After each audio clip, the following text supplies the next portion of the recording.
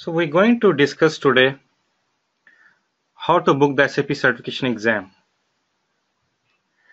Now before we discuss this one, how what is the booking process, uh, first of all I'll, I'll talk about the SAP certification exam rules in different countries. Okay, so if you are from India and surrounding countries, uh, there's a strict rule over there that either you should have a training from SAP Authorized Center, which is very costly, and or you should have some relevant experience. I believe it's two to three year experience within the same module of SAP. Okay, so if you're already working in in SAP, then probably there's no issue. You can just uh, book the exam with no issue. Otherwise, if you're a fresher, you need to go via the SAP Authorized Center for the exam booking. And for other countries like US, UK, Australia, Canada, there is no such rule at all. Okay, anyone can book the certification exam online and just go there and appear for the exam even if you have never seen the SAP screen before. Okay, it's very flexible, very straightforward process to book the exam online and there's no requirement at all whether you know SAP or not. Okay, and for other countries so if you belong to some other countries i would advise you that to check with your local sap office you should have either no rule or the rule like as i said as per india. So i will tell you about how to contact sap and how to book the exam. So we're going to go through that process here. So before we discuss that, I'll talk about some option for India and surrounding countries where there's a strict rule for appearing for the certification exam. Okay. So there's not much option we have but just one little option to save your money is that um, have training from any private trainer and fly to the nearest country to appear for the exam. Okay so you can go to the nearest country and uh, appear for the exam and have the training from anywhere you can come to australia you can go to canada us wherever is easy for you or someone can look after you. You just need to pay for the flights and probably accommodation that's all. And the other option is enroll for the SAP authorized e-learning training program and optionally in parallel have the training from any private trainer. That means if you enroll for SAP authorized e-learning training program which is a self-learning and which is half price I think nearly half price as compared to the classroom training and here you can save money 50% money. And just if needed you can uh, if you're not conf confident with the self-learning via e-learning then you can have the training from any private trainer online or there's so many trainers there. So that's another option for you. Okay just a little bit saving for money but again the rule still applies. For other countries where there is no such issue for booking the exam here we talk about how to book SAP certification exam in most of the countries, which is a very straightforward process. So SAP has outsourced the certification exam to a third-party company called Pearson VUE. Okay, so exam will be performed via Pearson VUE. Okay, in most of the countries. And you can book the exam only and pick up your um, it should be online sorry. Uh, you should book the exam online and pick up your exam date and and time that suits you. Okay that's it's very much flexible. You can pick any date during working days and very flexible time 9 to 5 most of the time. So here we're going to see that how you can book the exam. Again for every exam there's a exam exam code. Okay here you can see that's the exam code for mm C underscore TSCM 52 underscore 66, SD has exam code, PP has exam code, and CRM has exam code. These are the exam code latest as per today. Okay, so whenever there is a, um, a version change in SAP, they change the number of the exam. Okay, however, the basic questions they remain the same most of the time. So if you do not know the exam, just Google it. Google the SAP MM certification code. Okay, so for example, if I go to Google, if I say SAP MM certification exam code, here you can see that is exam code here. Okay it will open the website here for SAP and here you can see some more forums and um, so you can search for the exam. Okay make sure you know the right exam uh, the correct exam code. Even if you if you try to book the old exam code you can't because that will not be available on the SAP website anyway if you can see that on SAP website that's is there okay? So first step is you need to find the exam code. What is your exam code? And then second step is um, Google it. Okay the best way to find the exam code is to Google it. Okay so for example if I Google this code if I copy this code for MM certification exam I just copy Google this code here. Okay so here it will first open the SAP website. Here you can see it's showing you the training.sap.com so open that website which is the SAP one. Okay if I open that here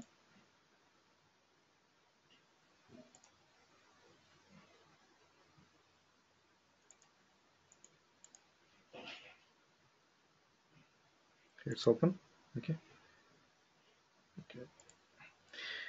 And here you can see because I'm in Australia it will be showing me the uh, Australian domain of the website.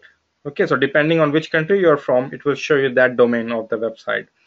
So here it will show me the price as well for Australia only because I'm in Australia. If you are in US you're in Canada or any other country it will show you that domain and the the price in your own currency. So let it process. I already opened it here on the other page here you can see. I already opened it here because I know it takes a while to see the to read the price and all that. So here you can see in Australian currency uh, Australian dollar that is a price. Okay plus GST the service tax on the this price which will be 600 something total for the exam fee.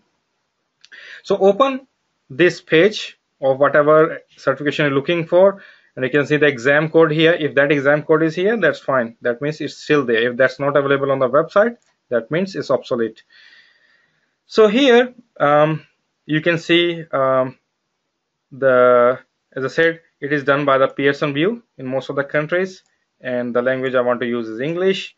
And before you pay for the exam I want you to scroll down and here you can see uh, an email okay depending on which country you're from or which domain SAP website is showing you here. So here you can see education.apa at sap.com write an email to this address okay and ask them about the certification exam process. Even if you're belonging to other countries maybe i'm not sure some european countries then better to ask them confirm then if there's any rule or any what are the procedure. Just ask them okay and if there's any rule. So send an email to them and also there's somewhere you can contact them via phone as well. Here at the bottom you can see yeah at the bottom if you see that is their phone number. I can call them and ask them about the process or I can email them education.anz so ANZ stands for Australia and New Zealand. Okay in your country you will see something else education dot something else. So make sure you call them or you you email them and ask the procedure before you pay them. And once you're happy and then you can book the exam. How to book the exam? Here you can see that is the price I'm going to pay and click on add to basket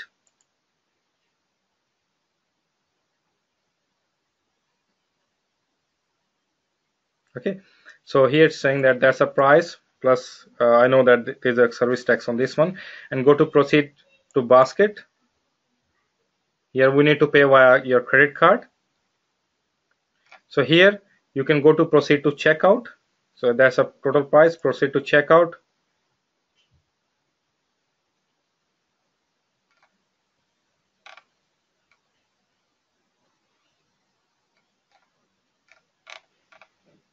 okay so i'm not sure why it's not going through. So if you go to proceed to checkout it will yeah it will ask you to log in. Or if you already have a sap uh, if you already has a user account in sap that's one you can also log in as guest. Okay so i would advise to create sap user account. Okay click on the middle one create an account.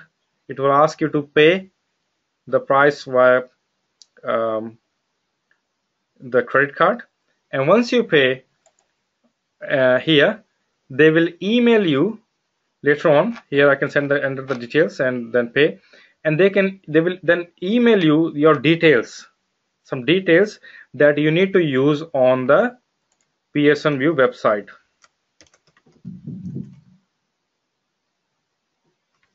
Pearson VUE website. Okay. So they will provide you most likely they provide you s number. Okay. So s some number one two three four five for example six seven i'll call it. This is a long number and a password. They will provide you two things once you pay them. You need to use this password and they will also send you all the instruction how to book the exam anyway. But here i'm just telling you brief. So if you just google pearson VUE you will of course get the instruction from from sap so if i google it pearson VUE that's a website here. Open that they basically all over the world they're performing different exams. Not only sap they're performing different exams okay so here somewhere uh, for test taker test taker home. And here you can type sap press enter. Or you can also go to a to z list of all programs. So here you can see the different programs you can see we'll need to search for SAP scroll down.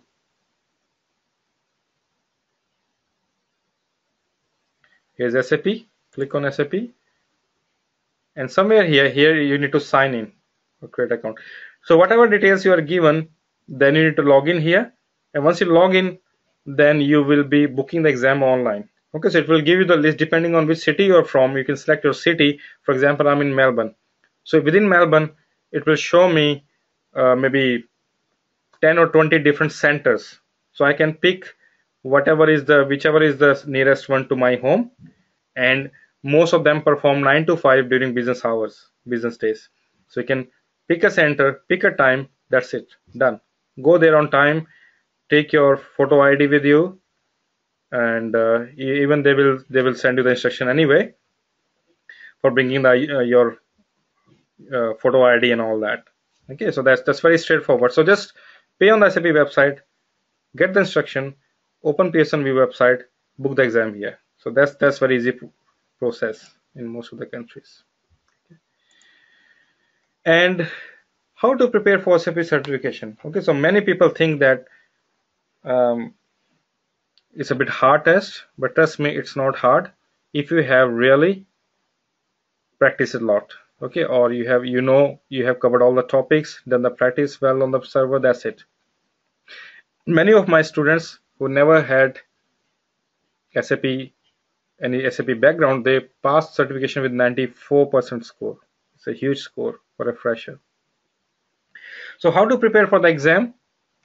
Make sure you check the syllabus on the website. When you open the SAP website to book the exam, you can see the syllabus over there. Okay, so make sure you know the syllabus, what are the topics going to be there in the exam, and make sure you cover all those topics. Okay, and the main key to pa pass exam is practice, practice, and practice. Practice. The more you practice, the more you learn. Okay, the, to learn, if you ask any SAP consultant what is the best way to to learn SAP or pass exam, they will ask you to practice practice and practice and um, if you enroll to my SAP training whether MMSD or anything then you will be given the certification question I'll be providing you and I can guarantee you will get exactly same question many of them in the real-time exam okay I can guarantee that so that's all about the booking exam and before we go um, check syllabus point. So I just want to show you the check syllabus point as well. So here, if I go back,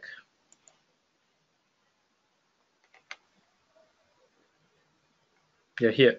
So here, so that's the exam code. Make sure the exam code is right, and that's exam name. And here you can see the syllabus. Okay, so for SAPM, you can see here for procurement special process in procurement 8 to 12 percent so there will be here you can see there will be total 80 questions here you can see there will be total 80 question you can click on this pdf link to see the example question and cut score is 59 percent is a passing mark.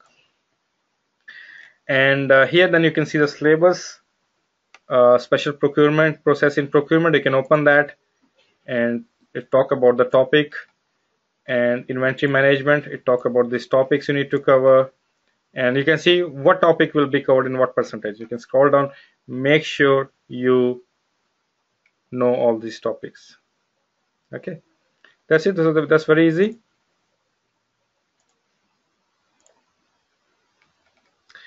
yes so uh, wish you good luck with your exam.